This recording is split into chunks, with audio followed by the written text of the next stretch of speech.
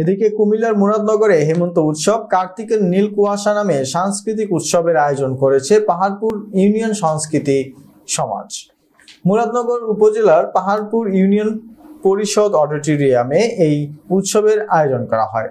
সাংস্কৃতিক ও সামাজিক ব্যক্তিত্ব কবি বশির আহমেদ সার্বিক তত্ত্বাবধানে অধ্যাপক আরিফুল ইসলামের সঞ্চালনায় এবং নং পাহাড়পুর ইউনিয়নের চেয়ারম্যান সামাদ মাঝির সভাপতিত্বে এতে প্রধান অতিথি ছিলেন কুমিল্লা জেলার কালচারাল অফিসার সৈয়দ আয়াজ মাহমুদ। বিশেষ অতিথি হিসেবে উপস্থিত ছিলেন কবি অধ্যাপক ও গবেষক রতন ভৌমিক প্রণয়, কবি ও শিক্ষক ইয়াসিন আশরাফ, কবি সংগঠক আবৃত্তি শিল্পী সাংবাদিক সুমন সালাউদ্দিন, প্রভাত ফেরি সাহিত্য সংগঠনের প্রতিষ্ঠাতা মেহেদি হাসান রনি, এছাড়াও কুমিল্লা জেলার বিভিন্ন কবি সাহিত্য প্রবন- প্রবন্ধকার।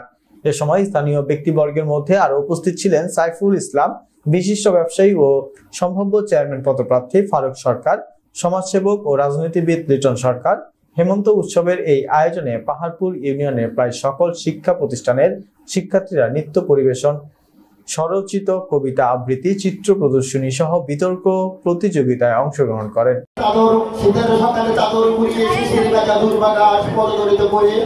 চঞ্চল প্রাণী ষষ্ঠ জমি থেকে তাড়িয়েছে কথা ভোরের শিশির নবান্নের মাঠে কাস্তে হাতে কৃষকের বেশি সামন্তে যত সময় করেছে পার, মনের দর্পণতা আজ বেশি ওঠে বারবার।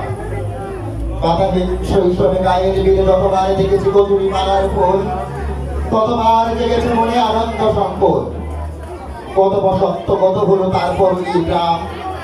সোনালি ফসলে ভরা বিস্তীর্ণ সবুজের মাঠ রাস্তার পাশে সুদীর্ঘ কালে দাঁড়িয়ে থাকা প্রকাণ্ড বৃক্ষের কৃষ্ণ জোড়া পাখলুনি মাঝে বাড়ির পুরুল রঙের টিভি বৃষ্টি বড়ই কাপ বিকেলে খেলার মাঠে বলা যেতে মরে চলে, ওটা অনর্থক খুবের আগুন। স্কুল ফাঁকি দিয়ে সদল বলে এবারে ওবারে গরু মেলানোর সেই সোনালি দিনগুলো আজ আর নেই, আজ আর নেই। আমরা সর্বক্ষেত্রে গর্বিত, এবং বাংলাদেশ এমন একটি জায়গা বিশ্বের অন্যতম একটি জায়গা যেখানে মাটিতে একটি বীজ ফেলে দিলে একটি গাছ হয়ে যায়।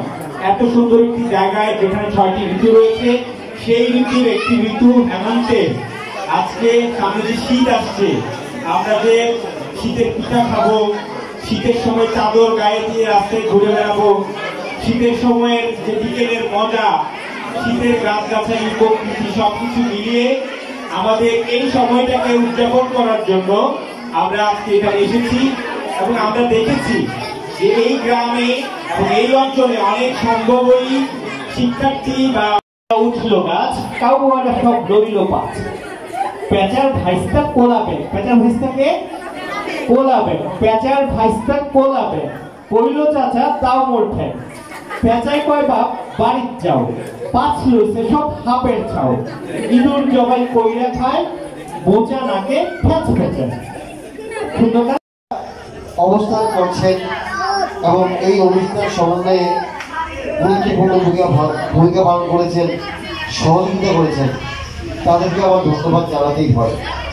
কারণ বাংলাদেশের মতো একটা দেশে প্রত্যন্ত গ্রামাঞ্চলে ইউনিয়ন পর্যায়ে একটি সাংস্কৃতিক অনুষ্ঠান আয়োজন করা অত্যন্ত কঠিন কাজ। এই নিয়ে আমার পাহাড়পুরে যদিও হেমন্ত উৎসব তৃতীয় কিন্তু পাহাড়পুরে আমার অনুষ্ঠান তিনটা